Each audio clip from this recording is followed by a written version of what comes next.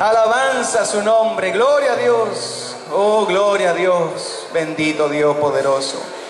Permítanos serle fiel, Señor, hasta el final, amado Dios. Tenga misericordia de nosotros, Señor, de nuestros pecados, de nuestros errores, de nuestras fallas, Señor. Bendito Dios, lávenos con su sangre, Señor. Lávenos con hisopo, como decía el salmista, amado Dios, para poder llegar hasta el final y alcanzar, Señor, la corona de vida, mi Dios poderoso. Alabamos, bendecimos y glorificamos su nombre, Señor. Solo a través de ti, Señor, hay esperanza, salvación, vida abundante, paz, Señor. Solo en ti hay seguridad, mi Dios eterno. Te alabamos, Señor. Te glorificamos, te bendecimos esta mañana. Te damos gracias, Señor amado. Gracias por la obra que usted ha hecho, Señor, y seguirá haciendo, Señor, completando la obra para, Señor, la cual fuimos nosotros llamados. Gracias, mi Dios, en el nombre de Jesucristo el Señor. Amén y amén. Gloria a Dios. Gloria a Dios. Tome su asiento, hermano amado.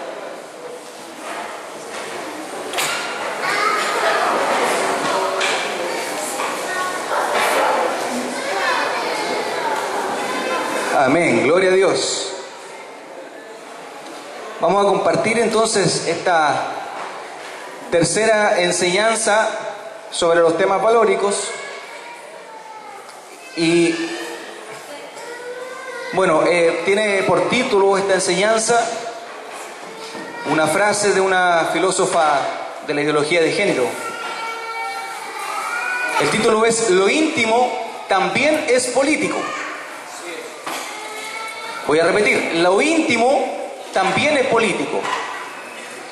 Eh, bueno, todos sabemos que, que estamos viviendo tiempos muy decisivos, peligrosos, pero que se manifiestan en algo, en algo muy particular, y que es la sexualidad de la persona, de nosotros, de la humanidad, de los hombres. La perversión sexual también es un espíritu, un espíritu inmundo. Porque recuerde usted que eh, en Sodoma y Gomorra, ¿verdad? las personas no se inclinaban a hacer los, los actos de perversión sexual porque sí, sino que era un espíritu inmundo que tomó posesión de esa generación, de esas personas, de esos pueblos, para llegar a cometer los actos que cometieron. Si nosotros revisamos también un poquitito la historia, el, el imperio romano también tenía un culto al sexo. El imperio egipcio también tenía un culto al sexo. ¿cierto? Una, idolatría al sexo. De hecho, el imperio egipcio, la mayoría de su simbología tiene que ver con eh, eh, eh, aspectos sexuales, ¿verdad? Entonces, pero más allá de, lo que, de los actos que llegaron a cometer esas personas, esos, pueblos, esas naciones, porque de hecho Roma y el imperio egipcio cayeron por su alto nivel de, de perversidad sexual.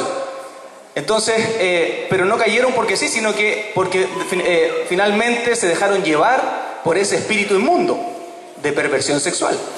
El mismo espíritu inmundo que hoy día opera en esta sociedad. Y que parece ser, porque por eso dice la Biblia, que la venida del Señor va a ser como los días de, de Noé, como los días de Lot, ¿cierto? Entonces, pero lo que vemos hoy es un mucho mayor aumento de la perversidad sexual de, la, de la sexualidad tergiversada, no como la hizo el Señor. Ahora, el problema que tenemos nosotros como iglesia es que muchos de los que nos llamamos cristianos hemos caído en el mismo espíritu. Y lamentablemente, este es un tema que no se habla mucho en la iglesia, del cual no se trata mucho en la iglesia. Y puede ser una de las razones por las cuales los pastores no están muy interesados, incluso algunos pastores del ministerio. ¿cierto? No están muy interesados en dar esta batalla o lo miran como un solo tema político, pero no con el sentido espiritual que tiene. Porque finalmente estamos en una guerra, en una confrontación espiritual, de principios y de valores. El reino de la tiniebla tiene su principio, tiene sus valores y que quiere imponerlos. El reino de los cielos tiene sus principios y tiene sus valores, ¿verdad? y que esos principios y esos valores le hacen bien a la persona, hacen bien a la humanidad. En cambio, los principios y los valores que nos intentan imponer, este mundo valórico que nos intenta imponer, no le hace bien al hombre ni a la mujer, no le hace bien a la humanidad, termina destruyéndolo. Porque la perversidad sexual, hermano amado, la Biblia dice que el hombre que adultera contra su propio cuerpo peca. ¿Verdad?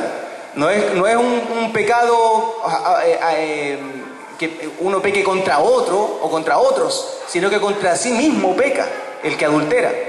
Entonces, en la iglesia se tratan estos temas, en, Betel se tratan estos temas, por ejemplo, nosotros eh, hace mucho tiempo atrás hicimos reuniones de matrimonios en los cuales hablamos de estos temas, ¿verdad?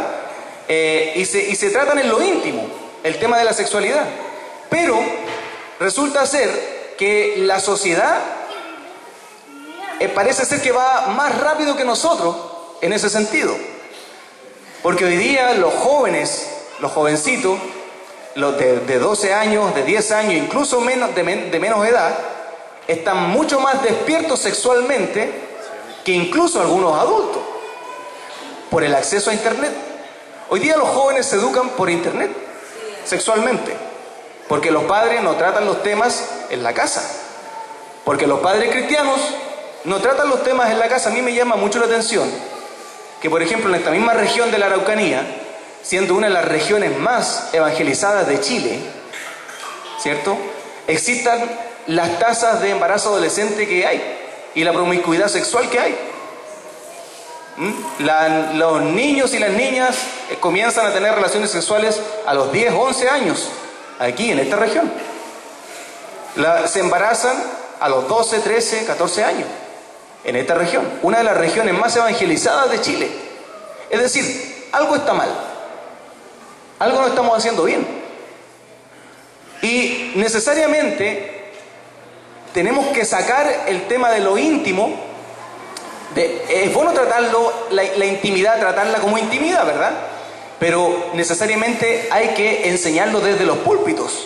Ahora, ¿por qué razón? Porque Dios nos quiere bendecir en todo.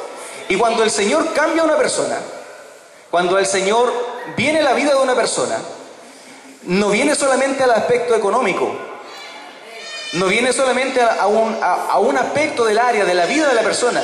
El Señor nos cambia por completo.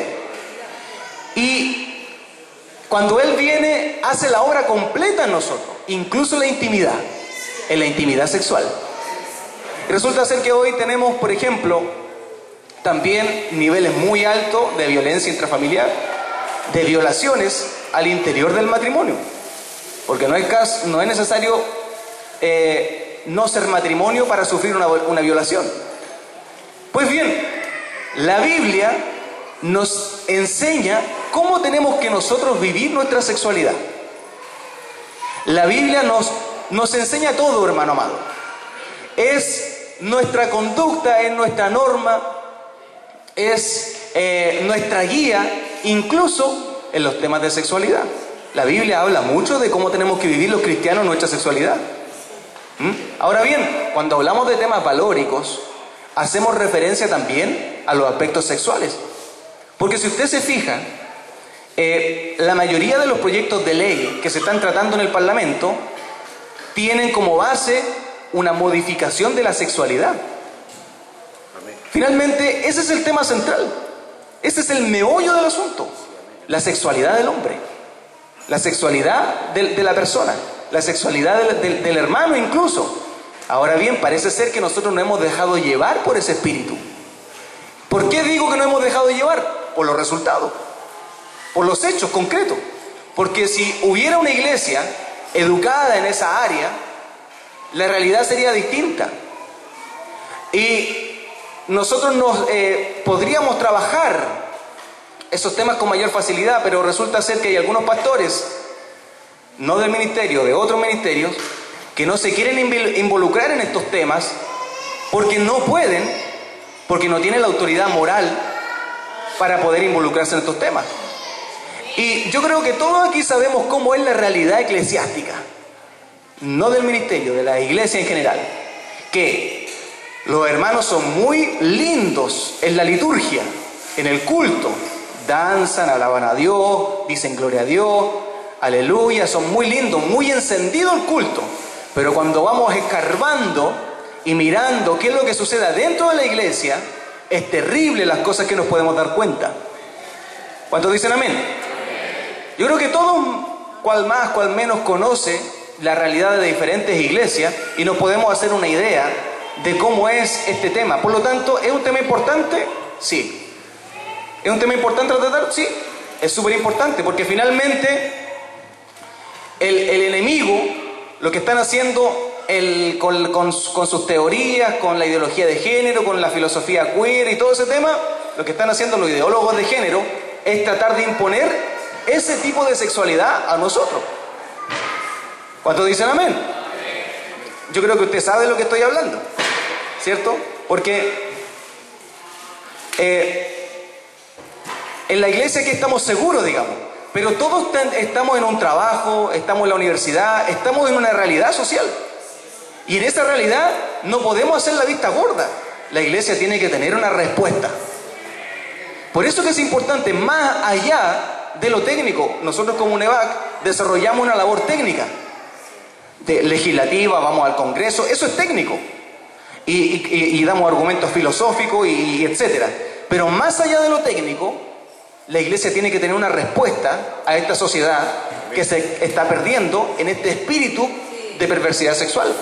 Tenemos que tener una respuesta y esa respuesta no es una respuesta técnica, no es una respuesta teológica, es una respuesta de la vida, del reino de los cielos. ¿Cómo vive usted su sexualidad? ¿Tiene la autoridad para poder enseñar estos temas? Porque mire, fíjese, como decía el pastor José en el principio, puede ser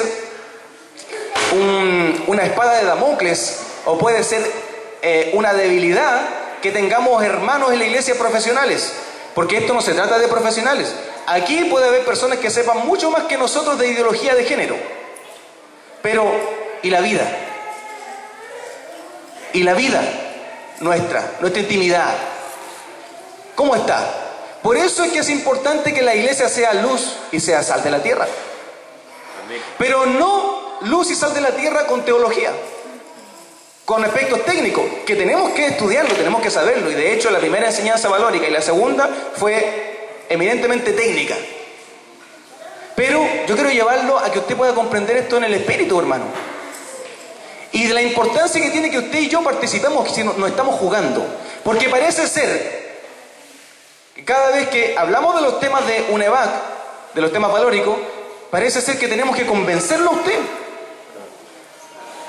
A mí me queda la impresión de que hacemos mucho esfuerzo, pero aún así la hermandad no entiende que tenemos un rol. Que no es que usted nos haga un favor a nosotros con dar la batalla de la fe. ¿Por qué tenemos que obligarle a usted? ¿Por qué tenemos que decirle, hermano, mire, no, no tenemos por qué. Si usted es un cristiano nacido de nuevo, si usted es un cristiano de verdad, entenderá lo que estoy hablando. Que este es un tema sobre todas las cosas espirituales, hermano amado. Y que la batalla no se da solamente con conocimiento. Por eso que no importa si usted sabe o no sabe de ideología de género. No importa si usted sabe o no sabe de educación. No importa si usted sabe o no sabe. dejemos a las personas que manejan los temas profesionalmente, dejémoslo. Pero eso no quiere decir que usted no tenga que participar. Que usted no maneje los temas políticos, filosóficos, históricos, etcétera, no quiere decir que usted se haga al margen. Todo lo contrario. Usted y yo somos la iglesia. Porque fíjese que si nosotros no, no somos luz, eh, dice la palabra que la luz ilumina el lugar oscuro. Y está puesta para eso, para iluminar el lugar oscuro. Estamos en una sociedad totalmente oscura, totalmente pervertida. Yo no sé qué más pervertida puede estar. En Canadá legalizaron las relaciones entre animales y personas. En Alemania existen los bares clandestinos para que las personas tengan relaciones sexuales con animales. En Suecia o Suiza legalizaron el, incesto. Dijeron que el amor entre un padre y una hija o entre una madre y un hijo es legal. Estamos viviendo, yo creo que usted se da cuenta, hermano amado, en su trabajo, del libertinaje que hay. Ahora, si nosotros no decimos nada, si nosotros nos quedamos callados, ¿estamos siendo luz en lugar oscuro? ¿Estamos siendo sal de la tierra? No. Más allá de la respuesta política, usted tiene que dar una respuesta con su vida. Porque como dice un proverbio, los hechos, la vida, hablan más que mil palabras su vida. Porque a mí me impresiona que muy fácilmente nos hemos dejado llevar por el adulterio y la fornicación. Y hemos normalizado el pecado, como le pasó a los corintios. Los corintios se envanecieron. Porque fíjese que Pablo les escribe y les dice, oye, yo no puedo tolerar que un, un hijo se acueste con su madre. Corintios 5. ¿Qué les pasó? Se envanecieron. O sea, lo tomaron como vano. Y más encima se jactaban. O sea, no importa que el hermanito peque. Y toda la iglesia sabe que peca. ¿Mm? Y muy fácilmente después, incluso, los ponemos en el liderazgo cuando son adúlteros, cuando todos saben que son fornicarios, cuando todos saben que no están casados, que son convivientes. Esas cosas se tienen que terminar entre nosotros, hermano amado. ¿Por qué? No podemos naturalizar, normalizar nosotros el pecado. No podemos, hermano amado, no podemos darnos esa licencia. Porque la lucha valórica, los temas valóricos, se relacionan con la sexualidad, con lo moral. ¿Cuántos dicen amén? Lo valórico no tiene que ver solamente con ir al Congreso, con ir a la Intendencia, con ir aquí, ir allá, no. Sáquese esa idea, hermano amado. Lo valórico tiene que ver con su vida práctica, incluso en la sexualidad. Es la sexualidad la que nos quieren cambiar. ¿Cuántos dicen amén?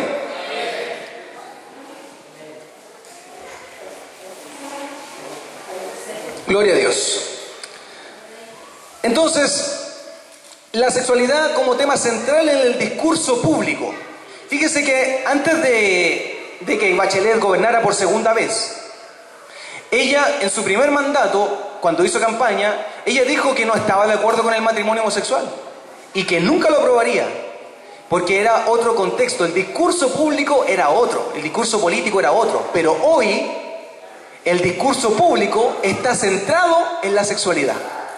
Por eso que tenemos a Michelle Bachelet apoyando todo tipo de aberraciones. Y todos sabemos que de acuerdo al nuevo orden mundial, la ONU, la OEA y todas las organizaciones supranacionales, eh, el Consejo Mundial de Iglesia, todas esas organizaciones están promoviendo este tipo de sexualidad. El, el tema central es la sexualidad. Por eso que ahora están tan de moda los transexuales. Antes, ¿cuándo podríamos haber escuchado nosotros que se hicieran programas de televisión exclusivos para transexuales? Nunca. Pero hicieron un programa en el Megavisión, no sé si se acuerdan. Yo no me acuerdo del nombre del programa. Pero hicieron un programa de, exclusivo para transexuales. Porque el tema central del discurso público hoy es la sexualidad. Entonces aparecen estos ideólogos, ideólogos como Kate Millett, que dice, lo íntimo también es político. Porque todos entendemos que la sexualidad es algo íntimo, ¿verdad? Antes nunca nosotros podríamos haber visto también a, parejas eh, homosexuales en la calle dándose besos, ¿cierto? Era algo íntimo. Ahora, eso íntimo, dicen ellos, que también es público, lo íntimo también es público, también es político. Porque nosotros mismos decimos, bueno, si los homosexuales quieren tener relaciones sexuales, bueno, que lo hagan en su intimidad, ¿verdad? Pero lo que están haciendo ellos ahora es hacer eso íntimo, hacerlo público. Lo íntimo también es político, también eh, según Kate Millett, una norteamericana, que escribió esto en su libro Política Sexual en el 1969, ¿verdad? Eh, una de las principales eh, ideólogas de género es, Simone de Beauvoir, ¿verdad? Pero parte todo este tema de esta nueva visión de, la sexualidad con Sigmund Freud, un pervertido que le gustaban los niños, un pedófilo.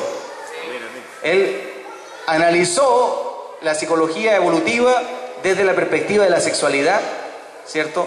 De los niños. Entonces, por ejemplo, ¿cómo podemos ver este tema de lo íntimo? También es político, por ejemplo, en los ejemplos que ya les di de los, bares clandestinos de sexo con alemanes en, Alemania, de la pedofilia en Holanda, la zoofilia legal en Canadá, el incesto legal en Suecia, etc. Hay un montón de ejemplos internacionales que, que nos muestran a nosotros que lo íntimo también es político y está en el debate público. Antes no se hablaban de estas cosas, pero hoy día sí. ¿Ya? ¿Se entiende, no? Amén.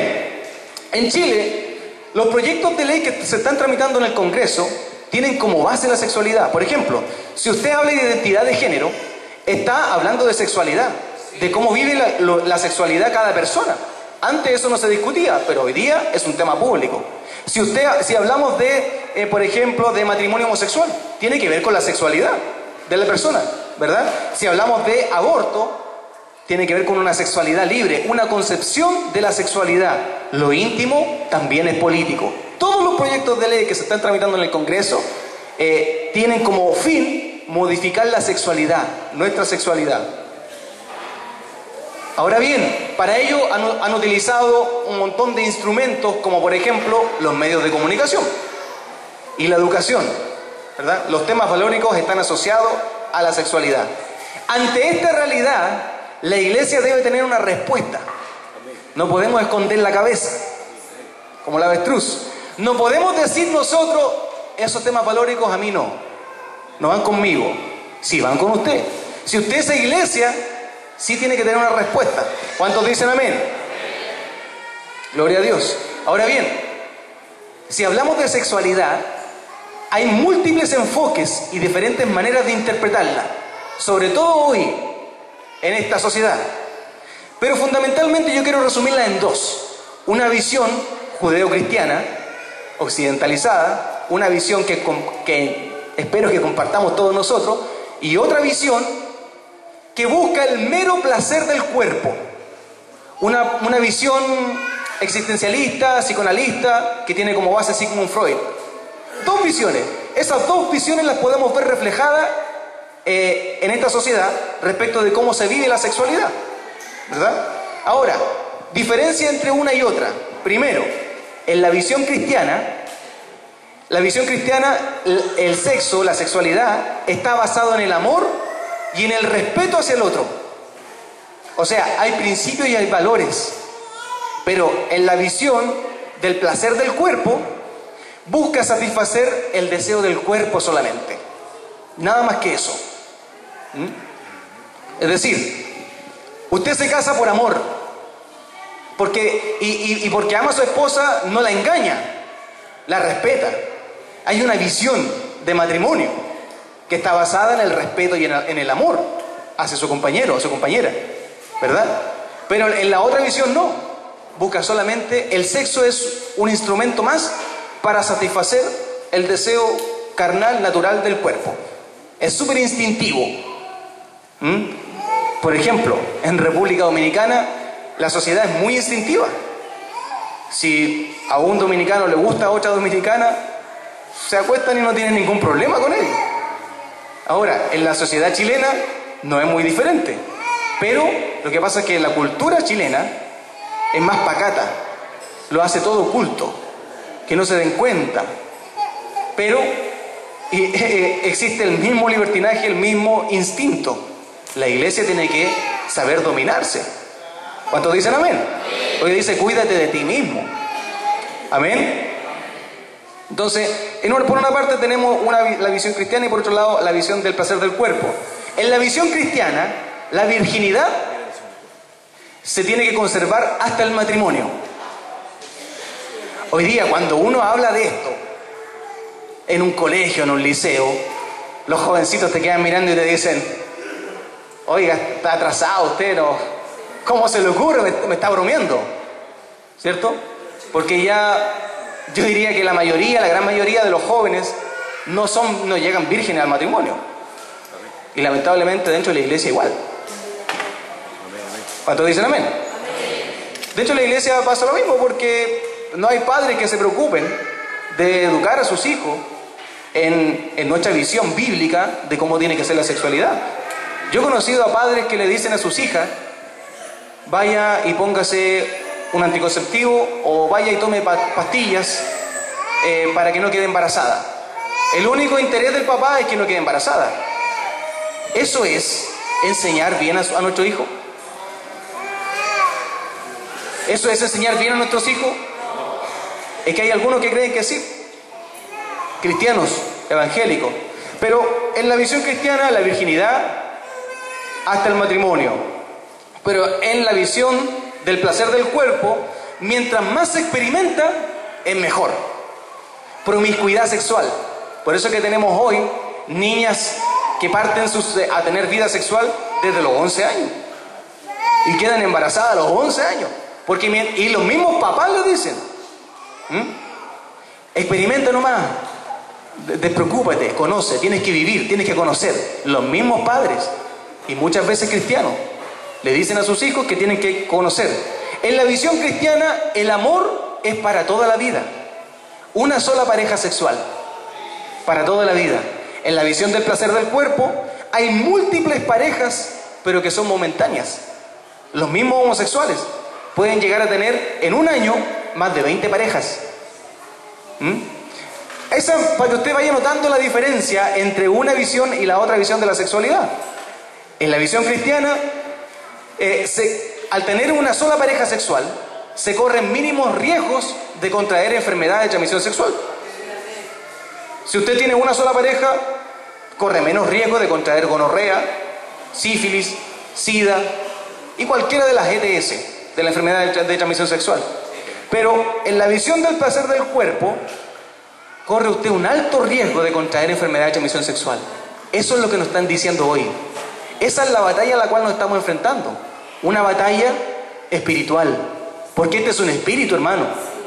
Así como el, alcohólico está, está posesionado por un espíritu inmundo, el drogadicto igual, el pervertido sexual está posesionado por el fornicario, el adúltero, está posesionado por un espíritu inmundo de perversión sexual. Por lo tanto, ¿es un tema ajeno a nosotros? No, no es un tema ajeno a nosotros se vincula mucho con nuestra vida cristiana.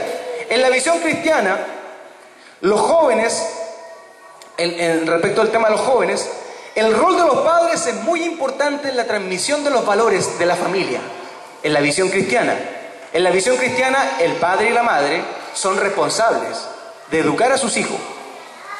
Hay muchos, hay muchos padres cristianos que les da vergüenza hablar de estos temas. No hablan con sus hijos, no saben cómo abordarlo. Bueno, tenemos la Biblia, hermano para decirle, mire hijo, esto dice la Biblia respecto de la sexualidad y desde chiquitito. Así usted tiene que vivir, esto dice la Biblia. Ahora, si el niñito o la niñita cuando es adolescente o cuando es joven hace lo que, lo que quiere se deja llevar por el mundo, ese es otro tema. Pero usted como padre tiene la responsabilidad de cumplir con educar a sus hijos en los principios bíblicos. Bueno, en la visión cristiana el rol de los padres es muy importante. En la visión del placer del cuerpo, los jóvenes aprenden en internet o con sus pares a través de la pornografía. ¿Verdad? Eso es lo que aprenden. Y hoy día cualquiera accede a eso. ¿Cierto? Tienen acceso a eso y aprenden así y luego entienden que la sexualidad es como lo ven en la pornografía. Y tratan a su esposa igual, como lo ven en la pornografía. No hay ningún respeto, consideración por el otro, ¿verdad? En la visión cristiana no es así hay una educación, porque la Biblia dice que la mujer tiene que ser tratada como vaso más frágil. No es un animal, no es un objeto, no somos musulmanes nosotros. Pero los jóvenes en la visión del cuerpo aprenden a través de internet o con otros jóvenes. Así aprenden en el liceo. ¿Saben de lo que estoy hablando, cierto? Porque me miran así como que como que estuviera hablando de, otra cosa que no sucede. Eso pasa, hermano amado. Pasa en los colegios, pasa en los liceos. Yo creo que usted sabe lo que está pasando. Ahora, en la visión cristiana hay un desarrollo evolutivo sexual normal. O sea, el niño se desarrolla normalmente su sexualidad. Porque un niñito de 5 años, ¿qué va a saber de placer sexual? Está conociendo su cuerpo, recién a los 12 años, con los cambios hormonales, se, se, despierta eh, todo lo que tiene que ver con el deseo sexual, pero en la visión cristiana se desarrolla normalmente eso. Ahora, en la visión del placer del cuerpo hay una clara y evidente corrupción de menores. Porque están, ellos dicen que el niño tiene derecho al goce sexual. Y como están los derechos del niño, el derecho al goce sexual es un bien superior del niño. Por lo tanto, el padre y la madre no tienen nada que decir ahí. Porque el derecho al goce sexual es un derecho del niño. ¿Verdad? Y por eso que tenemos peluches que muestran eh, falos, que muestran penes, peluches eh, de, vagina y peluches de todo tipo que se lo están enseñando a sus hijos en el jardín infantil de su comuna, de su barrio. Porque el libro Nicolás y sus dos papás es una pequeña cosita frente a todo lo que, lo que realmente sucede con nuestros hijos. Ahora bien, no voy a seguir con, con las comparaciones, porque yo creo que ya queda claro más o menos cuál es la diferencia entre una y otra. Sexualidad. Bien, esa sexualidad es la que nos quieren imponer, la sexualidad del cuerpo del mero placer, donde no hay respeto por el otro, donde hay un libertinaje total, donde, amado hermano, eh, eh, eh, el hombre solamente tiene que considerarse su cuerpo y nada más, no hay valores, no hay respeto, no hay nada por el otro. Esa es la sexualidad que nos quieren imponer. ¿A través de qué? Y que ya lo están haciendo, porque no tenemos que ser ingenuos nosotros de pensar que esto va a suceder. Esto ya está sucediendo hace muchos años atrás. No podemos ser ingenuos nosotros en pensar que como que estamos diciéndole lo que va a pasar. No, esto ya está pasando. ¿A través de qué? ¿Cómo nos están imponiendo este tipo de sexualidad? A través de los planes y los programas del Ministerio de Educación. A través de los textos escolares. Porque tiene que saber usted que a partir del año 2014 en adelante, la licitación de los textos escolares tiene que eh, viene eh, incluido con el enfoque de género. Es decir, todos los textos escolares que reciben sus hijos públicos vienen con el enfoque de género, con la ideología de género, con esta visión de sexualidad, del mero placer del cuerpo. ¿Ya? Todos los textos escolares a partir del año 2014. ¿De qué otra manera? A través de la reforma en la educación parvularia. ¿Mm? Este, el año pasado, en junio, el senador Guiller con la senadora Allende y otros senadores socialistas, y radical el, el masón Guillermo, eh, ingresó un proyecto de ley de reforma en la educación parvularia para incluir el enfoque de género, para pervertir a nuestros niños, a nuestros hijos con esta visión. ¿De qué otra manera se está imponiendo esta sexualidad? Por ejemplo, el Día del Orgullo Gay, que se celebra en los colegios a partir del año pasado, 17 de mayo. En todos los colegios, ellos dicen que es voluntario por el año pasado, pero va a llegar a ser obligatorio, porque nos están imponiendo esta visión de sexualidad, ¿verdad?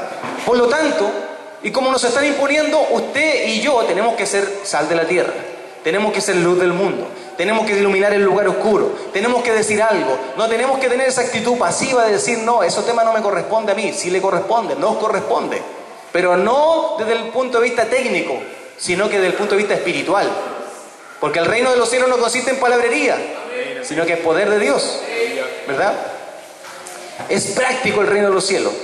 Ahora, si no tenemos autoridad moral, oremos a Dios que Dios nos restaure, que Dios nos ayude para poder dar la batalla a la fe, pues hermano.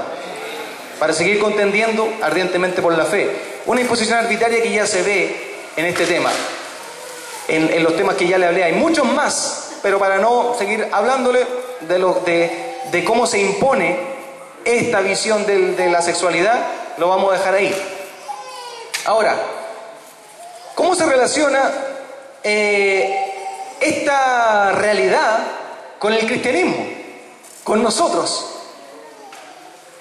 La sexualidad, ¿verdad? ¿Cómo se relaciona con el cristianismo? hay algunas características de la, cultura sexual chilena. El chileno, en términos de sexualidad, es pacato, es doble moral, es mojigato, etc. Es su cultura. Somos así, los chilenos. Dice, no, que como que no, pero por detrás la hacemos toda. Ante los compañeros públicamente decimos, no, no, yo no. No, yo, yo, a mí, en ese como que somos santos, pero por detrás. Si yo no sé cuántos eh, moteles clandestinos existen en el centro de Santiago. Parece que está lleno. Lleno de moteles que son departamentos, pero son moteles. Y lleno de, ¿cómo se llama?, de, prostitución en las calles de Santiago. Y eso como que, eh, como que está tapado. A mí me llamó mucho la atención un programa de informe especial que lo dieron hace varios años atrás, como dos o tres años atrás. Y ese programa hablaba de texto, de, de la cultura sexual chilena y particularmente de la pornografía. Y ese programa decía una estadística impresionante, que el chileno es el más consumidor de pornografía a nivel latinoamericano. Latinoamericano, no, solamente de Chile. Yo me preguntaba, mientras daba en el programa, ¿cuántos de esos consumidores de pornografía son cristianos? Entre nosotros. Le preguntaban a los, a los, a los entrevistados, ¿usted consume pornografía? No, no. ¿Nadie consume pornografía? Uno solo dijo, sí, yo consumo, sí, de vez en cuando. Sí. Uno solo. Pero la gran mayoría, entrevistaron como a 10 personas, todos decían que no. Si preguntáramos a cada uno de nosotros aquí, ¿cuál sería la respuesta? Probablemente no. La cultura del chileno es así. Es mojigata, es pacato, es todo para escondido, todo ahí nomás. Ahora bien, ¿por qué es un tema importante este tema, hermano amado? Porque la pornografía yo creo que es un instrumento más del nuevo orden mundial. Creo yo, es una tesis mía. ¿Por qué? Porque la pornografía lo que hace es pervertir tu conciencia. Es hacerte entender de otra manera la sexualidad. Te impone de otra manera tu vida sexual. Y te hace tratar a tu esposa, a tu esposo de otra manera. Comienzas viendo pornografía, pero terminas quizá en qué cosa. Es un espíritu. Es un espíritu inmundo. Y luego te haces adicto. Y al igual como la marihuana, como la cocaína, como la bebida, eh, mm, el, alcohol, ¿cierto? no puedes salir después de ello. En la pornografía pasa lo mismo. Pero hay un Cristo poderoso que puede hacer libre.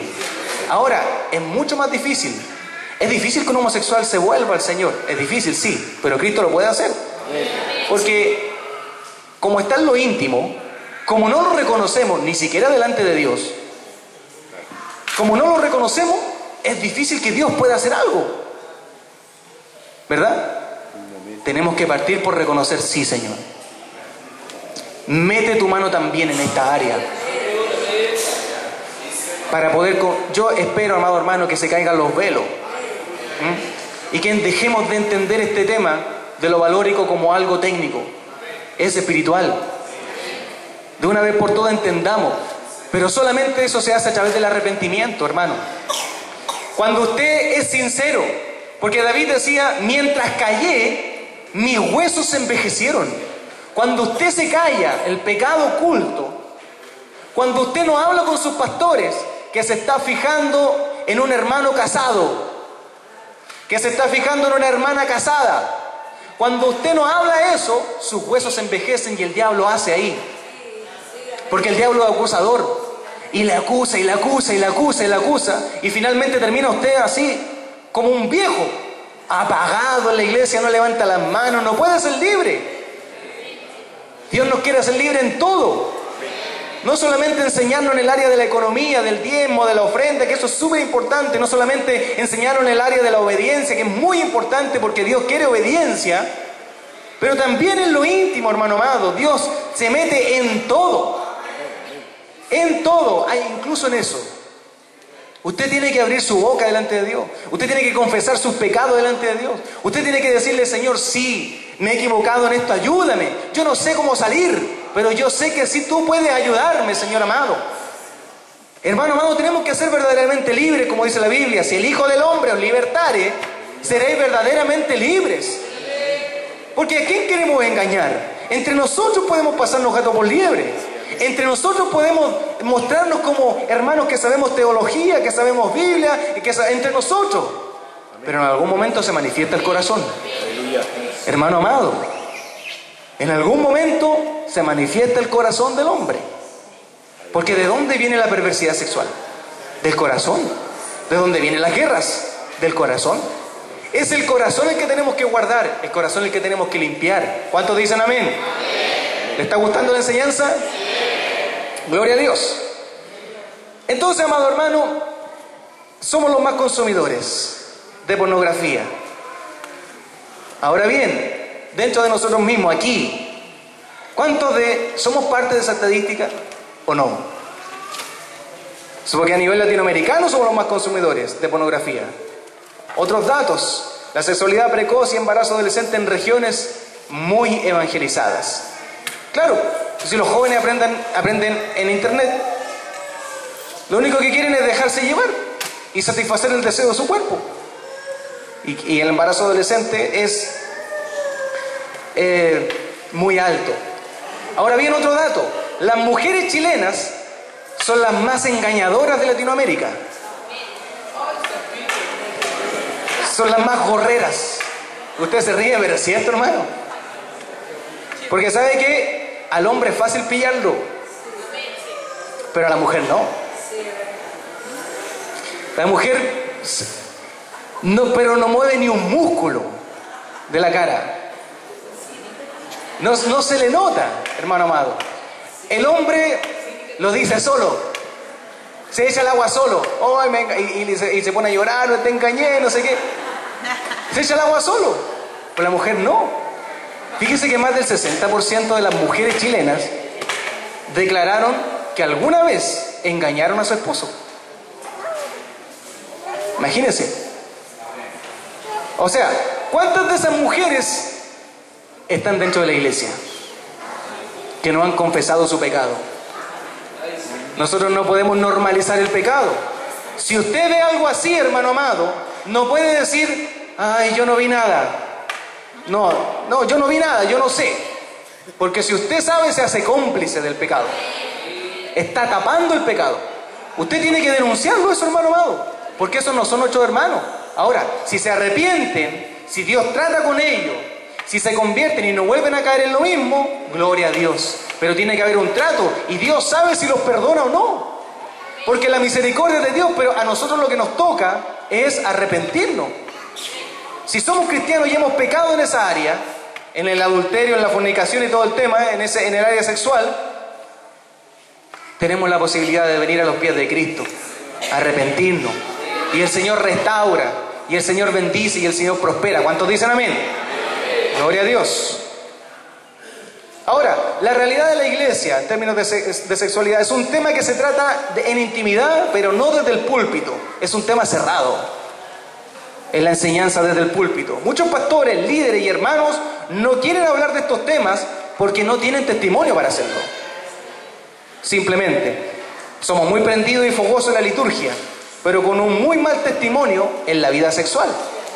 Nosotros yo conozco ministerios que hacen cruzadas de poder y y son muy lindos, hermano, lindo, lindo los ministerios pero cuando uno va mirando y escarbando y conociendo, da pena. Da pena la realidad. No vaya a ser que nosotros caigamos en eso. No podemos tolerar nosotros el pecado. No podemos nosotros eh, eh, envanecernos de esa manera. ¿Cuántos dicen amén? La realidad de la iglesia evangélica es así. Pero qué bueno que es el Señor que nos habla estas cosas y podamos nosotros estar apercibidos, hermano amado, estar atentos en todas las áreas, ser entendidos en los tiempos, pero no solo entendidos, sino gente que practica también la palabra, gente que la pone por obra, amén. Gloria a Dios.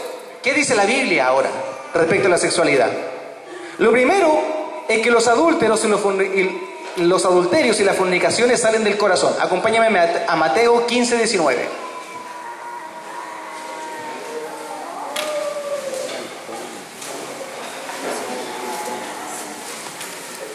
Mateo 15, 19. ¿Lo encontró? Amén. Mateo 15, 19 dice, porque del corazón salen los malos pensamientos, los malos pensamientos, los homicidios, los adulterios, las fornicaciones, los hurtos, los falsos testimonios, las blasfemias.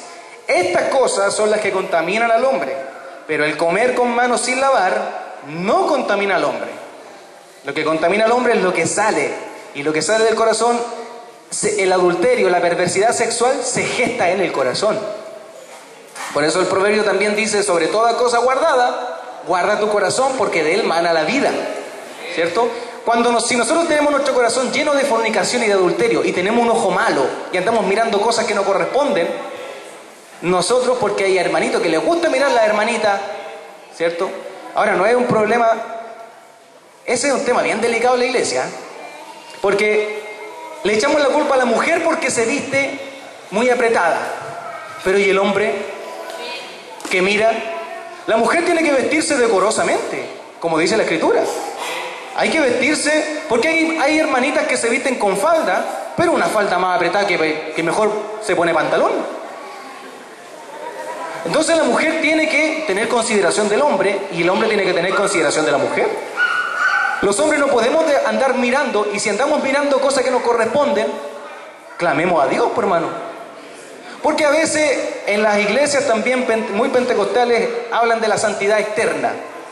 Sí, pero yo también veo hermanos que se visten con pantalones bien apitillados, bien apretados, con camisitas bien apretadas que parecen mujeres.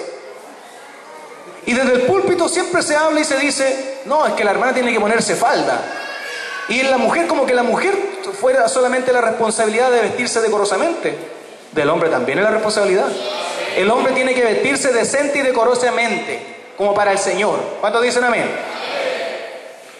Entonces, ese es un tema bien delicado porque sí, pues sale del, sale del corazón. Si usted anda mirando cosas que no corresponden, cuídese. Porque andamos los pastores mirando. ¿Cierto? Y el hermanito que, yo siempre digo, el hermanito que yo veo que, que, mira mucho, yo me acerco al hermanito y le digo, oiga hermanito, y le converso y le hablo. Y el hermanito se da cuenta, porque a veces creemos que no nos damos cuenta. A veces el hombre cree que mira así y nadie lo está mirando. No, hermano amado, Aquí habemos responsables de la iglesia que estamos atentos. Entonces, tenemos que nosotros tener cuidado, cuidar la iglesia, cuidarnos entre nosotros, no permitir, no dar cabida al diablo, ni menos en fornicaciones, en adulterio, porque parte con una mirada y termina como. Como cuántos dicen amén. Gloria a Dios. Entonces, corremos el riesgo de envanecernos si no limpiamos nuestro corazón con el Señor a través del arrepentimiento, corremos el riesgo de envanecernos y normalizar el pecado. Primera de Corintios 5, 1, 2. Primera de Corintios 5, del 1 al 2. ¿Lo encontró? Amén.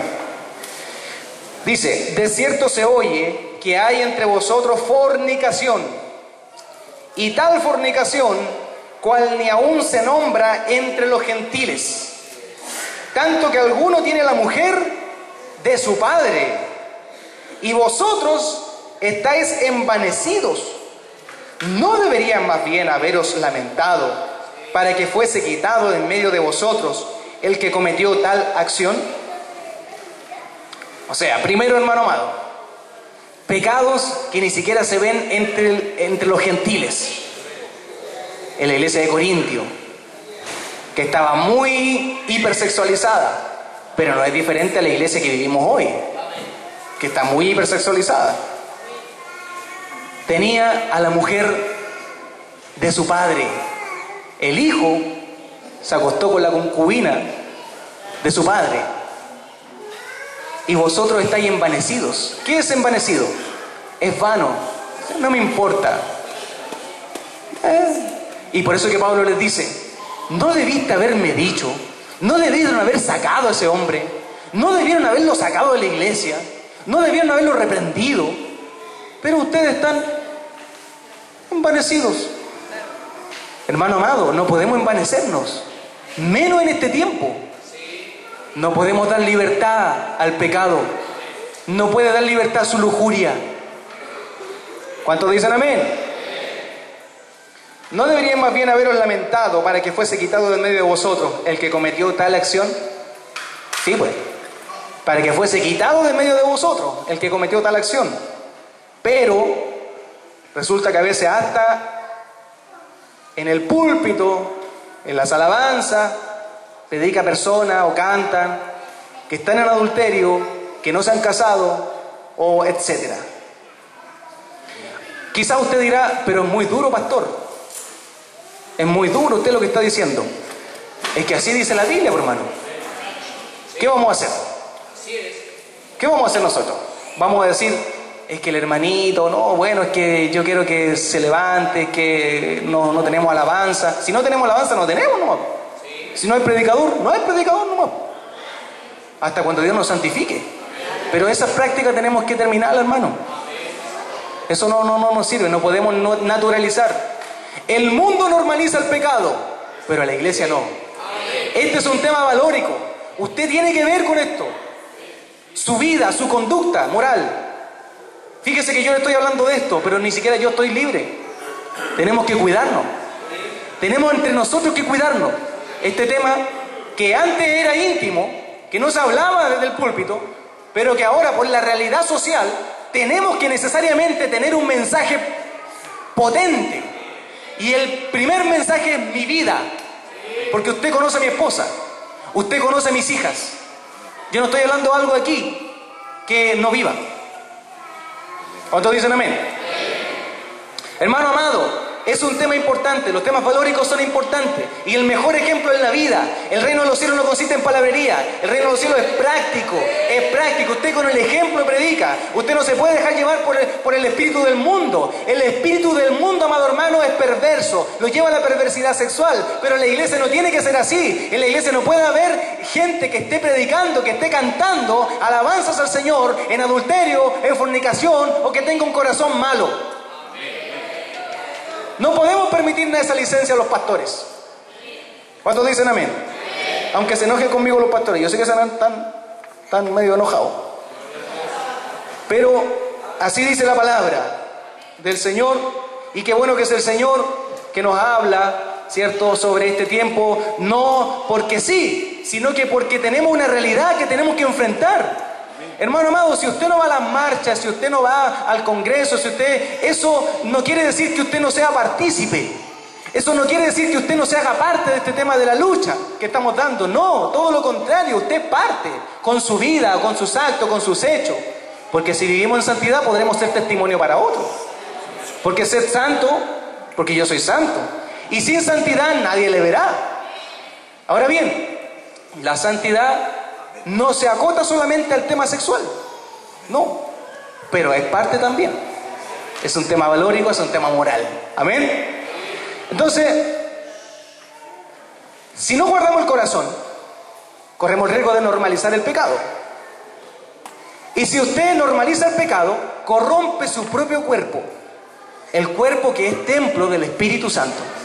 Acompáñeme a Corintio, 1 Corintios capítulo 6, versículo 18 al 20. Primera de Corintios, capítulo 6, versículo 18 al 20. ¿Lo encontró?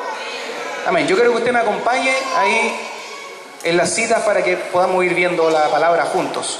Dice, huid de qué? De la fornicación. Huid de la fornicación.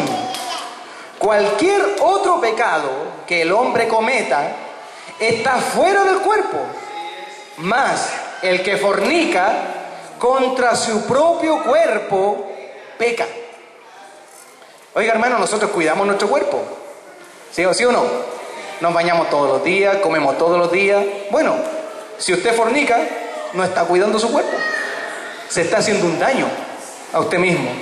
El 19 dice, o ignoráis que vuestro cuerpo es templo del Espíritu Santo el cual está en vosotros, el cual tenéis de Dios, y que no sois vuestros. O sea, el cuerpo no le, pertenece a usted, es de Dios. es del Espíritu Santo de Dios. Y cuando usted fornica contra su propio cuerpo, fornica y corrompe su propio cuerpo. Amén. Ahora Dios, si usted, si usted se arrepiente, Dios puede eh, eh, sanarlo, puede restaurarlo, puede cambiarlo, ¿cierto? Pero si es que usted se arrepiente, y para arrepentirse tiene que confesar, abrir su boca. Yo no sé cuántos de los que estamos aquí, al terminar la enseñanza, vamos a ponernos de pie y vamos a confesar nuestros pecados. Porque el Señor hoy nos está hablando de esto. Hoy usted tiene la posibilidad de arrepentirse. Hoy usted tiene la posibilidad de decirle, Señor, sí, confieso mi pecado. Restáureme, ayúdeme, mi Dios. Hoy. Pero tenemos la actitud del silencio. Amén. Ese silencio nos puede llevar al infierno. El 20 dice, porque habéis sido comprados por precio. Glorificad pues a Dios en vuestro cuerpo y en vuestro espíritu, los cuales son de Dios. No le pertenece su vida ni su propio cuerpo, sino que es de Dios. Amén. Hablemos un poquito más del adulterio. Acompáñame al Proverbio 6, del 26 al 29. Proverbio 6, del 26 al 29. ¿Lo encontró? Amén. Dice así. Porque a causa de la mujer ramera, el hombre es reducido a un bocado de pan. A causa de la mujer ramera, el hombre y la mujer es reducido a un bocado de pan. No importa que usted tenga un tremendo liderazgo en la iglesia, que sea un gran predicador. ¿Qué le pasó a Jimmy Chagger? Ese que andaba repartiendo Biblia. Raras las Biblias. ¿Cierto? ¿Qué le pasó a él? Todo el mundo sabe que él adulteró. Un hombre fogoso y que predicaba justamente estos temas de sexualidad. Le tendieron una trampa, dicen, y cayó. O sea, ese gran ministro de Dios quedó reducido a un bocado de pan. Hermano amado, tenemos que cuidarnos. ¿Cuántos dicen amén? Porque a causa de la mujer ramera el hombre reducido a un bocado de pan. Y la mujer caza la preciosa alma del varón. La mujer ramera anda a la casa, anda ahí buscando dónde, ¿cierto? La mujer ramera caza la preciosa alma. Usted es valioso, hermano. Nosotros somos valiosos. Entonces no corrompamos nuestro cuerpo. Meditemos, pensemos antes de, antes de mirar, antes de tocar, antes de, no sé, de caer en fornicación. Pensemos que podemos caer en esto. 26. 27. ¿Tomará el hombre fuego en su seno sin que sus vestidos ardan? ¿Andará el hombre sobre brasas sin que sus pies se quemen? Dijimos hasta el 29. Así es el que se llega a la mujer de su prójimo. No quedará impune ninguno que la tocare. Porque a veces nosotros pecamos y como nadie nos ve, creemos que la hicimos de oro y va a quedar, sin, va a quedar ahí, impune. No. El pecado tiene consecuencias. Sea antes, durante o después del pecado. Y nosotros si hemos pecado tenemos que asumir esas consecuencias.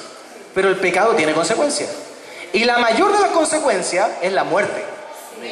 Porque la paga del pecado es muerte. ¿Cuántos dicen amén? Gloria a Dios, hermano, amado. Entonces, no quedará impune. Su pecado no quedará impune. ¿Podemos arrepentirnos? Sí. Tenemos abogado para con nuestro Padre, a Jesucristo el Señor. Él lleva nuestra causa.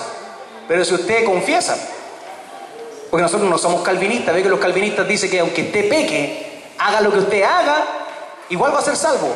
No, eso es una mentira. Porque si usted peca, la Biblia dice que la paga del pecado es muerte. Si usted peca, inevitablemente va a tener consecuencias. Incluso puede llegar a perder su salvación antes de morirse, si es que blasfema contra el Espíritu Santo de Dios. Así dice el profeta. ¿Cuántos dicen amén? Entonces, amado hermano, Proverbio 5. No, el 32. Proverbio 6, 32. Antes.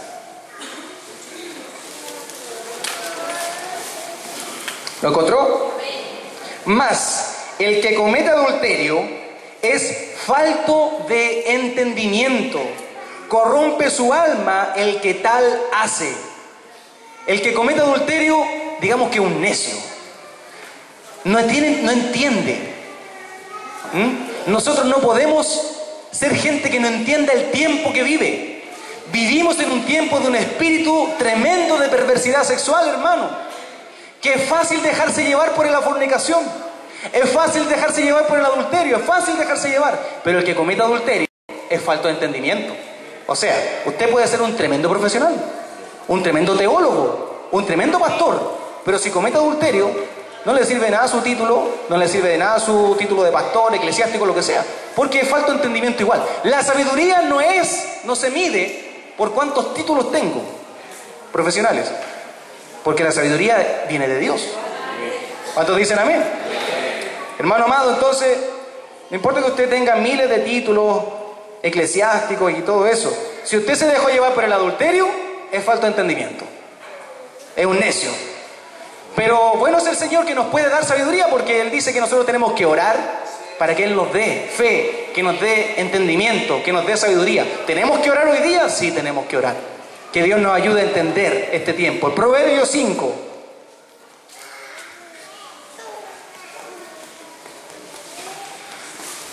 El Proverbio 5, vamos a leerlo completo este. Dice, Hijo mío, está atento a mi sabiduría Llame inteligencia, inclina tu, inclina tu oído, para que guardes consejo, y tus labios conserven la ciencia.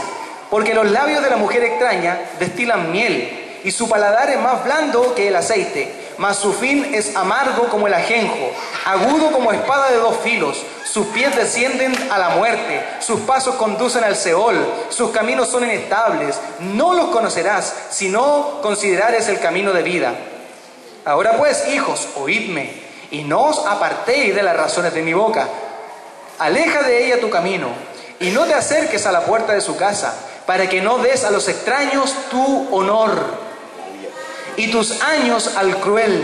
No sea que extraños se sacien de tu fuerza y tus trabajos estén en casa del extraño y gimas al final cuando se consuma tu carne y tu cuerpo y digas, ¿cómo aborrecí el consejo y mi corazón menospreció la reprensión? No oí la voz de los que me instruían y a los que me enseñaban no incliné mi oído. Casi en todo mal he estado en medio de la sociedad y de la congregación. Bebe el agua de tu misma cisterna y los raudales de tu propio pozo. Se derramarán tus fuentes por las calles y tus corrientes por las aguas de las plazas. Sean para ti solo y no para los extraños contigo. Sea bendito tu manantial y alégrate con la mujer de tu juventud como sierva amada y graciosa gacela. Sus caricias te satisfagan en todo tiempo y, y, en su amor recréate siempre. ¿Y por qué, hijo mío, andarás ciego con la mujer ajena y abrazarás el seno de la extraña? Porque los caminos del hombre están ante los ojos de Jehová y él considera todas sus veredas. Prenderán el impío sus propias iniquidades y retenido será en las cuerdas de su pecado. Él morirá por falta de corrección y errará por lo inmenso de su locura. Gloria a Dios. Alegrémonos entonces la mujer de nuestra juventud. El que haya esposa, haya el bien, dice la Biblia. Si tenemos esposa o esposo, no tenemos todo. No tenemos más necesidad. Ahora vamos a ver cómo es la sexualidad en el matrimonio. ¿Cierto? Primera Corintios 7, 1, 16. Volvamos a Corintios.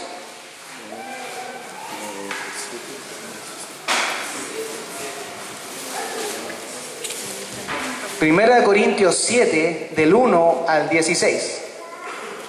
Y aquí vamos, voy a ir haciendo unas pausas para que podamos interpretar.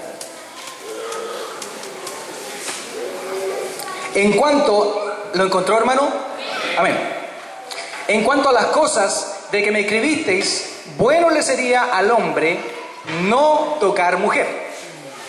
Ya los corintios le estaban haciendo preguntas ahí a, Pablo sobre cómo se tenía que vivir eh, la sexualidad, eh, la virginidad, la soltería y todo eso. Entonces, en cuanto a las cosas que me escribiste, bueno, sería el hombre no toca mujer.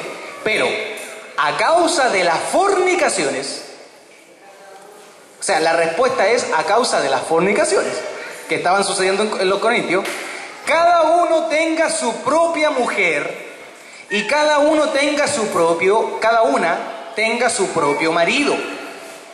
El marido cumpla con la mujer el deber conyugal. Aquí se está refiriendo a la intimidad. El marido cumpla con la mujer el deber conyugal y asimismo la mujer con el marido. La mujer no tiene potestad sobre su propio cuerpo, sino el marido. Ni tampoco tiene el marido potestad sobre su propio cuerpo, sino la mujer. Es decir, aquí hay una, una eh, palabra que Pablo dice, bueno, eh, no somos individualistas, nosotros tenemos que, no somos egoístas con nuestro cuerpo. Nosotros tenemos que considerar la necesidad de mi esposo o de mi esposa.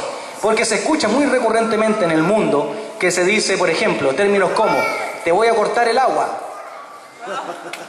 O se enojan y el, esposo con la esposa, ya, y el castigo es, usted ya sabe. ¿Cuántos dicen amén? ¿Saben de lo que estoy hablando o no? Gloria a Dios. Entonces podrían haber salido de día los niños para poder hablar con mayor claridad. Eh, entonces, pero Pablo aquí dice, la mujer no tiene potestad sobre su cuerpo, ni el hombre tampoco. Ahora, eso no quiere decir que el hombre tenga una actitud instintiva y le diga, ya, ven para acá, porque la Biblia dijo y el pastor Francisco dijo que tú no tenías que... No, hermano amado, porque la Biblia también dice que el hombre tiene que tratar a su esposa como un vaso más frágil, porque nosotros no somos animales, hermano, nos actuamos por instinto. Pues yo no veo ningún perrito aquí. No somos los perros andan así, los animales andan así, instintivamente.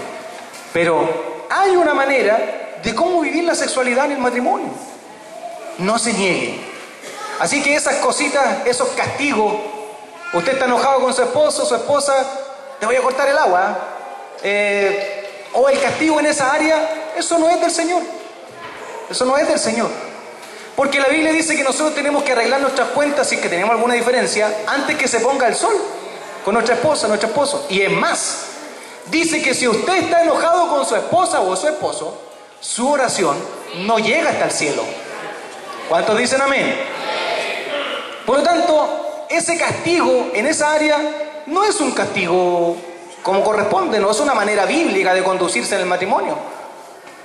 Usted tiene que solucionar su problema conversar con su esposo o su esposa antes que se ponga el sol.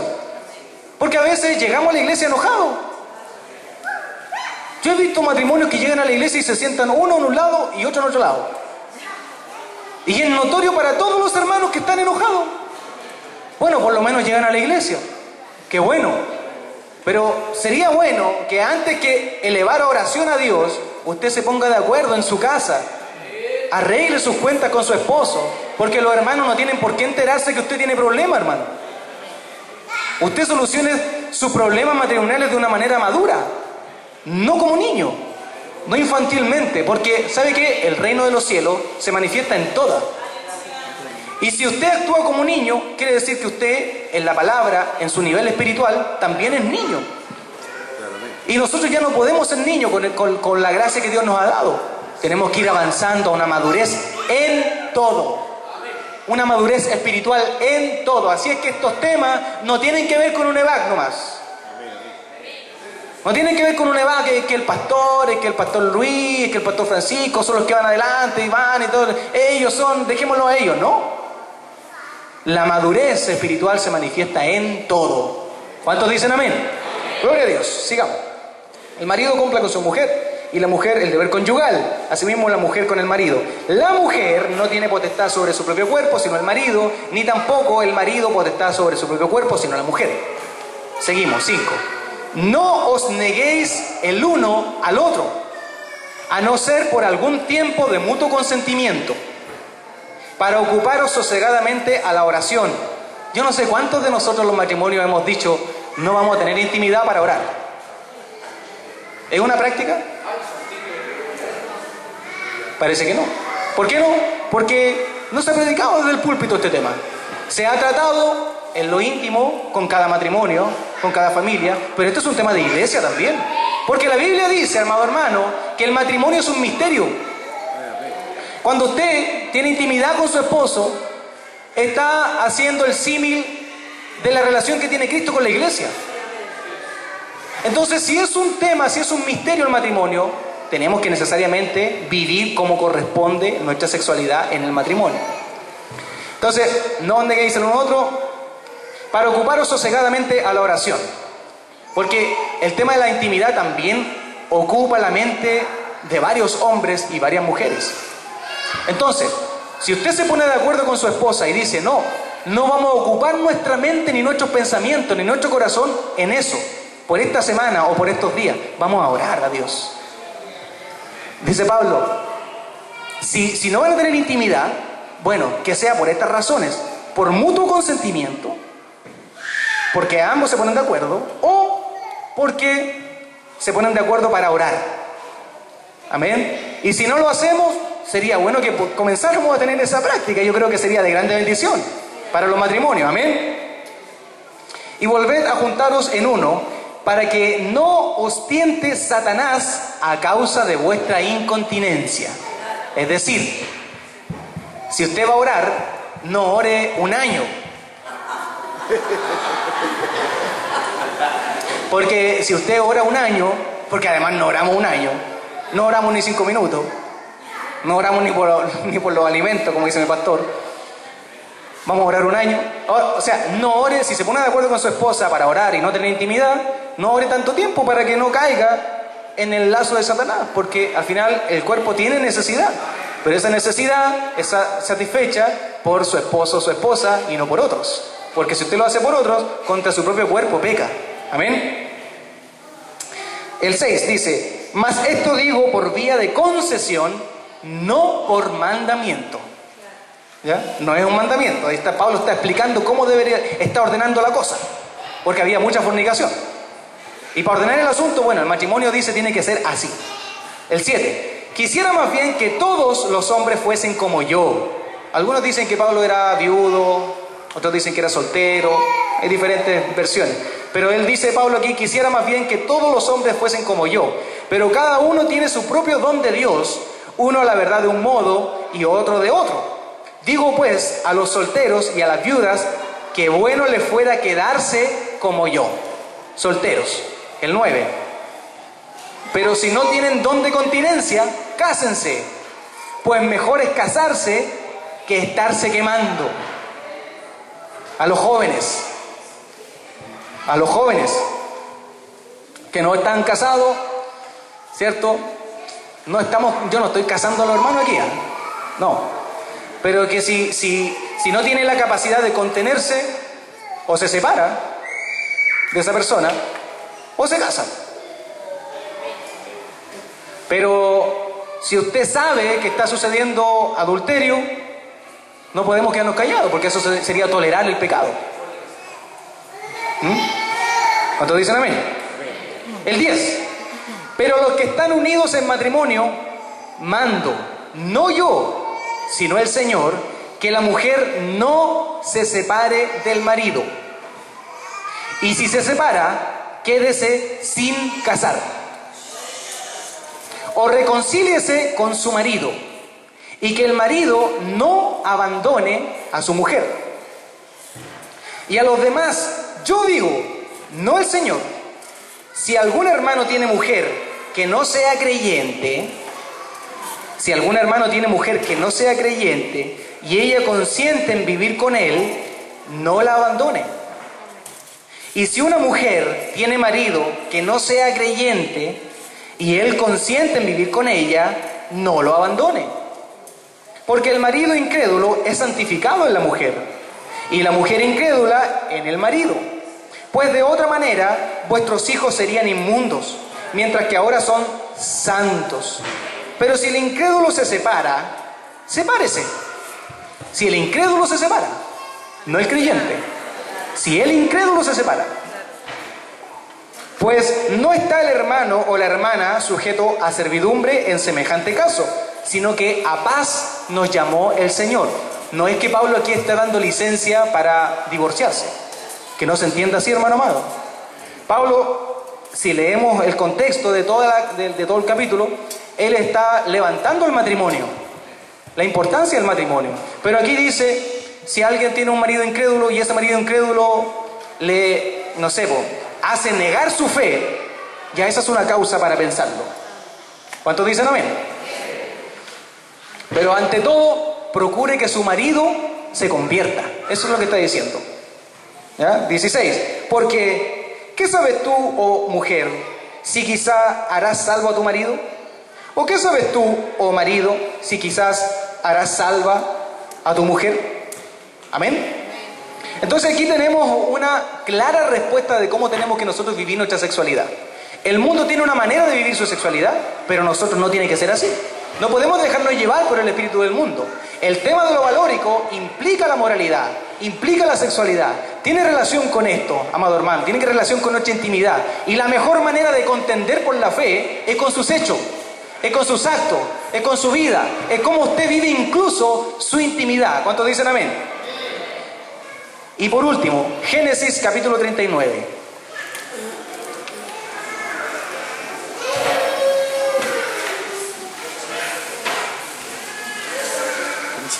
Génesis capítulo 39. ¿Lo encontró?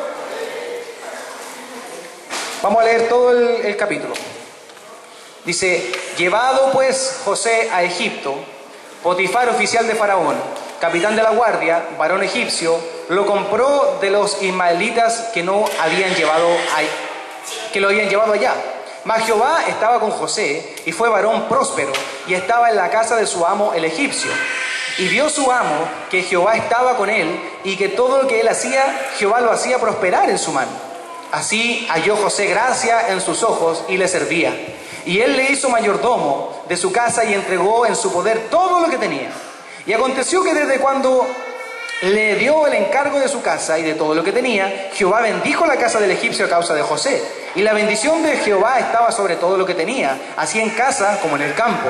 Y dejó todo lo que tenía en mano de José, y con él no se, no se preocupaba de cosa alguna, sino del pan que comía. Y era José de hermoso semblante y bella presencia. Aconteció después de esto que la mujer de su amo puso sus ojos en José y dijo, duerme conmigo. Y él no quiso. Y dijo la mujer de su amo, he aquí que mi señor no se preocupa conmigo de lo que hay en casa, y ha puesto en mi mano todo lo que tiene. No hay otro mayor que yo en casa, y ninguna cosa me ha reservado sino a ti, por cuanto tú eres su mujer. ¿Cómo pues haría yo este grande mal y pecaría contra Dios? Hablando ella a José cada día y no escuchándola, él para acostarse al lado de ella, para estar con ella, aconteció que entró él un día en casa para hacer su oficio y no había nadie de los de casa allí. Y ella lo asió de su ropa diciendo, duerme conmigo. Entonces él dejó su ropa en las manos de ella y huyó y salió. Cuando vio ella que le había dejado su ropa en sus manos y había huido fuera, llamó a los de la casa, a los de casa y les habló diciendo, mirad, nos ha traído un hebreo para que hiciese burla de nosotros. Vino él a mí para dormir conmigo y yo di grandes voces. Y viendo que yo alzaba la voz y gritaba, dejó junto a mí su ropa y huyó y salió. Y ella puso junto a sí la ropa de José, hasta que vino su señor en su casa. Entonces le habló de ella las mismas palabras, diciendo, el siervo hebreo que trajiste vino a mí para deshonrarme. Y cuando yo alcé mi voz y grité, él dejó su ropa junto a mí y huyó fuera. Y sucedió que cuando oyó el amo de José las palabras que su mujer le, había, le hablaba, diciendo, así me ha tratado tu siervo, se encendió su furor. Y tomó su, su mano a José y lo puso en la cárcel, donde estaban los presos del rey, y estuvo allí en la cárcel. Pero Jehová estaba con José y le extendió su misericordia y le dio gracia ante los ojos del jefe de la cárcel. Y el jefe de la cárcel entregó en mano de José el cuidado de todos los presos que había en aquella prisión. Todo lo que se hacía allí, él lo hacía. No necesitaba entender el jefe de la cárcel cosa alguna de las que, se estaban, de las que estaban al cuidado de José, porque Jehová estaba con José y lo que él hacía, Jehová lo prosperaba. Amén. Hermano amado, podemos ver aquí en José un ejemplo de cómo tiene que ser la iglesia. Porque fíjese que Dios no bendice el pecado.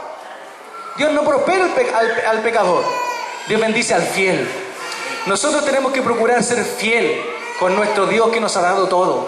José, José fue fiel porque entendía él que todo lo que tenía era venido de la mano de Dios.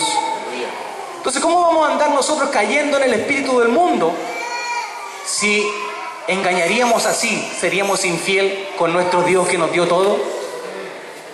El que persevera hasta el fin, el fiel, ese será salvo. Si llegamos hasta el fin con fidelidad a nuestra esposa, a nuestro esposo, pero sobre todo a nuestro Dios, porque el que teme a Dios va a tener cuidado de no pecar, hermano. El que no teme, el que peca deliberadamente, sabiendo lo que hace, fornica, adultera, demuestra que no tiene temor de Dios, que no conoce a Dios. Para los de afuera está bien, porque es su espíritu, pero para los de adentro no. ¿Cuántos dicen amén? Gloria a Dios. Entonces, Dios se mete en todo, incluso en lo íntimo, en nuestra sexualidad. ¿Y hay una manera de vivirla? Sí, claro. Estamos en una confrontación espiritual de reinos, de valores y de principios. Por tanto, sí tenemos algo que decir y algo que hacer. El tema valórico no se limita a lo técnico, a los proyectos de ley, al Congreso, a las marchas, etc. No, va un poquitito más allá. La mejor manera de dar la batalla es con el ejemplo, con los frutos. La iglesia debe tener una respuesta ante esta imposición. Nos están imponiendo una manera de vivir la sexualidad. Y en nosotros tenemos que tratar el tema, porque ¿cómo vamos a responder? Primero con los actos, primero con la vida. Pero la iglesia debe tener una respuesta ante esta imposición en el modo de vivir nuestra sexualidad. Amén. Bien, vamos a orar al Señor. Espero que haya sido de bendición esta enseñanza y espero también que pueda abrir el camino para seguir tratando el tema, seguir conversándolo, seguir tratándolo ya de manera no íntima, sino que desde el púlpito. Porque tenemos que iluminar el lugar oscuro, porque tenemos que tener una respuesta ante esta sociedad. Y los temas valóricos no, son solamente el, el tema de un EVAC. Fíjese, amado hermano, que nosotros como, como iglesia, hace mucho tiempo estamos tratando de levantar un colegio Hoy día hay... ¿Y sabe por qué? Porque el Ministerio de Educación y el mundo tiene ya todo el diseño para imponer esta, la sexualidad pervertida a nuestros hijos. Y ya están dando. Pero nosotros tenemos que tener cuidado con nuestros hijos, hermano. Y es por eso que estamos trabajando en un proyecto junto a algunos hermanos que consiste en un colegio eh, de educación virtual. Y esperamos que esta vez sí Dios nos ayude, Dios nos prospere, Dios nos bendiga y pueda salir a la luz y dar fruto este, este proyecto, porque es muy necesario, hermano. Ya junto a nuestro hermano Ricardo, nuestro hermano Leonardo y algunos otros hermanos, tenemos casi listo ese proyecto. Esperamos que al retorno de la convención ya esté lista la plataforma y va a ser educación virtual. Vamos a hacer uso de las nuevas tecnologías de la información. Queremos que sea un proyecto excelente, bien hecho. Eh, porque la verdad es que la pedagogía y la educación como está hoy ya pasó de moda hace mucho tiempo. La educación del futuro es la educación virtual. Porque todos los niños ahora usan, tienen acceso, eh, internet, tablet, etc. Así que queremos usar esas herramientas para educar a nuestros hijos. Esperamos contar con su apoyo. Esperamos contar con su apoyo. Y su compromiso, no solamente en la oración, no un compromiso moral, sino el compromiso y la valentía de juntos dar la batalla de la fe, de hermano amado, de más allá de entender los temas valóricos como un tema moral, de comprometerse con la vida, con el Señor. Yo espero que varios de los que tenemos hijos pequeños retiremos a nuestros hijos del colegio, porque yo no creo que usted quiera que sus hijos lo perviertan. Nadie quiere que, un padre quiere lo mejor para sus hijos. yo no creo que aquí haya un padre que diga, yo quiero que le enseñen esa sexualidad, la del placer, la del cuerpo, la de la enfermedad y transmisión sexual. Yo creo que nadie, ningún papá quiere eso, pero eso le están enseñando a su hijo. Hermano amado, necesitamos tener, tomar decisiones. Y que esta enseñanza pueda servir para ello y las enseñanzas anteriores y todo lo que Dios nos está dando en esta convención le ayuda a usted a tomar una decisión con sus hijos. Retire a su hijo del colegio. Sea valiente. Estamos todos aquí. Usted sabe, mis hijas nunca han ido al colegio. Los hijos de los pastores nunca han ido al colegio. Los hijos del pastor Luis algún tiempo fueron al colegio. Porque el compromiso es de verdad, hermano.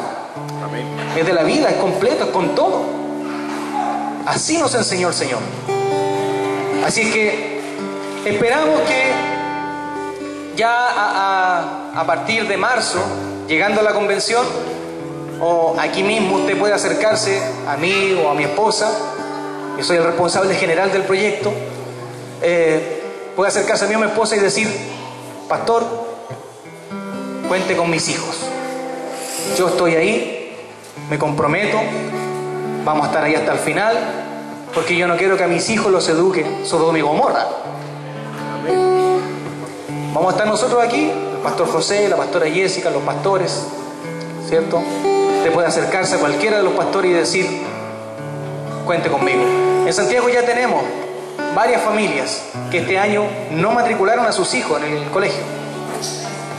Pero este no es un tema de la iglesia local, es un tema importante que atañe o le interesa a toda la iglesia. Porque al final nuestros hijos se han criado aquí, hermano se los vamos a entregar al diablo. Los hijos de los hermanos de Concepción se han criado aquí, hoy día están más grandes y van a seguir creciendo. ¿Qué queremos? ¿Que sean ministros de Dios o que sean siervos del enemigo? Y que después ellos mismos estén diciendo, apuntándonos a nosotros con el dedo, que somos homofóbicos, que somos intolerantes, porque eso le van a enseñar en el colegio. Amén. ¿Qué queremos? Este es el momento de tomar una decisión. Los niños todavía son pequeños. Podemos hacer algo. Amén. Amén. Vamos a orar al Señor. ¿Cuántos quieren orar? Gloria a Dios. Vamos a orar al Señor. Y, y yo creo que usted tiene que cosas que decirle a Dios. Todos tenemos que poner una cuenta con Dios en el área, de la intimidad, en el área de, lo sexual, de los matrimonios, ¿cierto? Eh, a lo mejor han vivido su sexualidad no conforme a la Biblia, pero Dios es bueno y hoy día nos habló el Señor claramente de cómo tenemos que vivir nuestra sexualidad en el matrimonio, en la soltería, en la virginidad, una visión de acuerdo a la Biblia y no a la visión que nos quieren imponer estos pervertidos. Es un espíritu inmundo que tenemos que reprenderlo de la iglesia. Porque no podemos normalizar el pecado al interior de la iglesia. No podemos permitirnos darnos licencia, hermano amado. ¿Cuántos dicen amén? Oremos al Señor entonces para que Dios nos ayude. Cierre sus ojos, levante sus manos y oremos a Dios. Gloria a Dios. Bendito Dios. En el nombre de Jesús, Señor amado, oramos en esta mañana, amado Dios. Oh bendito Dios, para que su palabra, Señor amado, pueda hacer caer los velos, Señor, que nos tenían ahí, quizás, amado Dios, entendiendo una cosa diferente, que podamos entender los tiempos que vivimos, no solamente las señales, Señor bendito. Son lindos los temas escatológicos, son lindos los temas de liturgia, son lindos los temas, amado Dios, pero vamos a enfrentarnos a una realidad, Señor bendito, diaria, cotidiana, frente a la cual como iglesia tenemos que tener respuesta, amado Dios.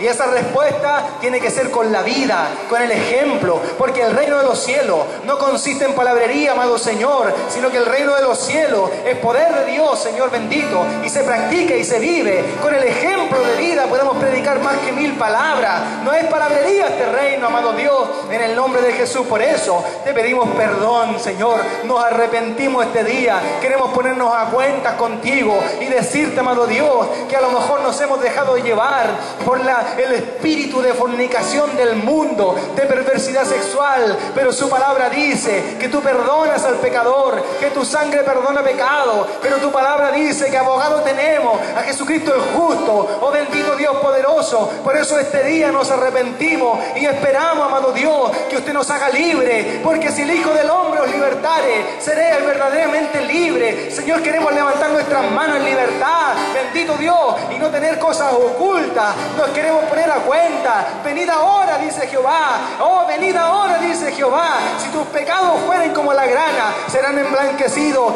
Si fueren rojos como el carmesí, vendrán a ser como blanca lana. Venid ahora, ¿qué les impide? ¿Qué nos impide, Señor amado, que nos pongamos a cuenta? Solo nuestro mal corazón. Del corazón del hombre sale la fornicación, el adulterio. Del corazón del hombre. Esto no consiste solamente en temas técnicos, señores, en, temas doctrinales. Consiste solamente en doctrina política, Señor amado, sino es poder de Dios. El reino de los cielos se hace manifiesto en nuestra vida. En el nombre de Jesús reprendemos, Señor, toda anomia espiritual. Oh bendito Dios, reprendemos, Señor amado, todo espíritu de fornicación, de adulterio. Bendito Dios, porque no podemos tolerar el pecado, porque el juicio de Dios parte por la casa de Dios, Señor bendito. En el nombre de Jesús, ¿cómo podremos hacer la diferencia si nosotros toleramos el pecado?